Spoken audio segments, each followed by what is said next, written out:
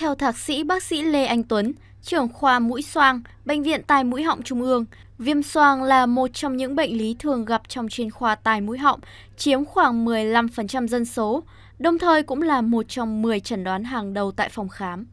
Thậm chí, do quá trình đô thị hóa, công nghiệp hóa, vấn đề ô nhiễm môi trường và biến đổi khí hậu nên ngày nay bệnh có xu hướng gia tăng. Do đặc điểm bệnh kéo dài, dai dẳng, nên viêm xoang thường ảnh hưởng lớn tới sức khỏe và chất lượng cuộc sống của người bệnh. Vì thiếu hiểu biết, một số bộ phận không nhỏ người dân có những suy nghĩ sai lầm về bệnh viêm xoang, dẫn đến hiện tượng khi xuất hiện dấu hiệu bệnh, người dân ngại đến các cơ sở y tế để thăm khám mà lại tự tìm đến những phương pháp truyền miệng hay tự mua thuốc Tây y về để điều trị. Những việc làm này không chỉ khiến người bệnh đối diện với nguy cơ mất tiền oan vào những bài thuốc dởm, mà thậm chí còn gây ra những biến chứng nguy hiểm.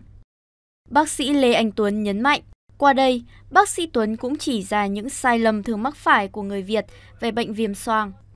Thứ nhất, bệnh viêm xoang không thể chữa khỏi hoàn toàn. Nhiều người cho rằng khi bị viêm xoang sẽ phải sống chung suốt đời với căn bệnh này. Tuy nhiên, bác sĩ Tuấn cho biết viêm xoang là tình trạng viêm nhiễm của niêm mạc mũi và các xoang cạnh mũi. Viêm xoang nếu được chẩn đoán sớm và điều trị đúng thì bệnh có thể khỏi hoàn toàn. Thứ hai, đã viêm xoang là cần phải phẫu thuật. Đây là suy nghĩ của phần lớn những người mắc viêm xoang.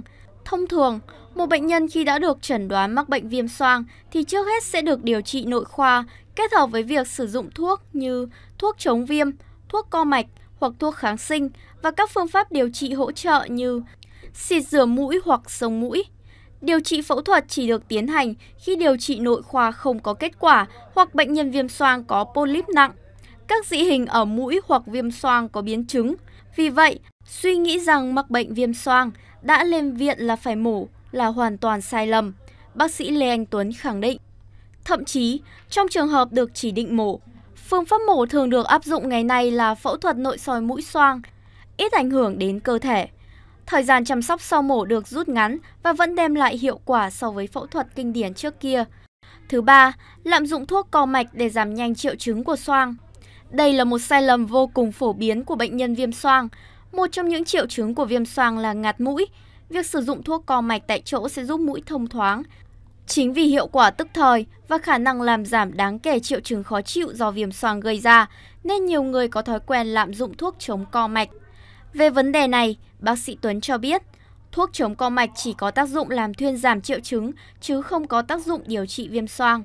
Đáng nói là khi sử dụng thuốc co mạch kéo dài sẽ có thể dẫn đến tình trạng sơ hóa cuống mũi, làm mất tính giãn nở thông thường và gây nên ngạt mũi kéo dài hay viêm mũi do thuốc. Thứ tư, lạm dụng việc rửa mũi bằng nước muối sinh lý. Vệ sinh mũi họng hàng ngày bằng nước muối sinh lý 0,9% hoặc nước muối biển có tác dụng làm sạch, thông thoáng mũi, giảm phù nề, sung huyết hay giảm ngạt mũi. Đồng thời, rửa mũi làm tăng hiệu quả của thuốc điều trị tại chỗ như steroid xịt mũi. Đây là phương pháp điều trị hỗ trợ rất quan trọng. Tuy nhiên, không vì thế mà chúng ta lạm dụng việc rửa mũi bằng nước muối sinh lý. Tùy theo giai đoạn của bệnh mà số lần rửa mũi sẽ khác nhau. Trường hợp không có viêm mũi mà chúng ta lại rửa quá nhiều sẽ gây ra tình trạng khô mũi và cảm giác khó chịu. Bác sĩ Anh Tuấn khuyến nghị.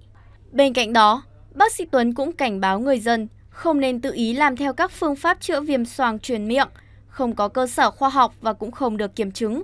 Khi có các biểu hiện của bệnh xoang như ngạt mũi, chảy dịch mũi, giảm ngửi, ho kéo dài và có thể kèm theo đau đầu âm ỉ ở vùng dưới ổ mắt, vùng trán, vùng trầm sau gáy.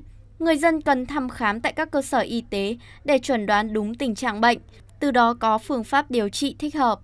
Dù có tỷ lệ thấp, nhưng vẫn có rất nhiều trường hợp biến chứng do viêm mũi xoang, gây ra những ảnh hưởng rất nghiêm trọng. Thậm chí có trường hợp bị mù vĩnh viễn hoặc để lại các di chứng nặng nề về thần kinh. Do đó, việc chuẩn đoán và điều trị viêm xoang kịp thời tại các cơ sở y tế là điều cần thiết.